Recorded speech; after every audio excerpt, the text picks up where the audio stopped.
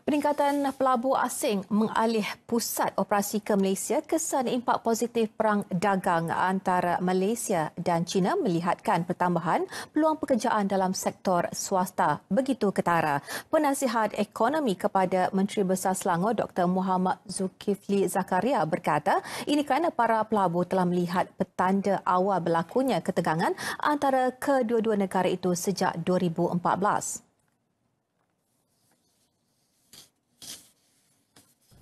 Jadi apabila bermula secara serius 2017 uh, dan uh, perpindahan uh, dia dia berlaku dua keadaan di rantau ASEAN.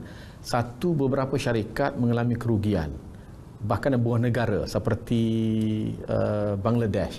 Ini sebabkan China, negara China manufacturing dia pakaian di Bangladesh.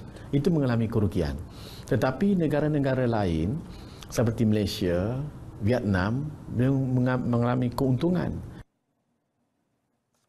Beliau bercakap kepada pemberita di Wisma Berita Kuala Lumpur. Menurut Jabatan Statistik Sektor Swasta merekodkan penambahan 82,000 peluang pekerjaan pada suku pertama tahun ini berbanding tempoh sama tahun 2018.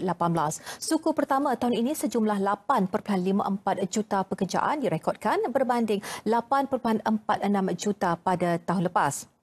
Ketika ini 97.7% pekerjaan daripada 8.54 juta pekerjaan telah berjaya diisi.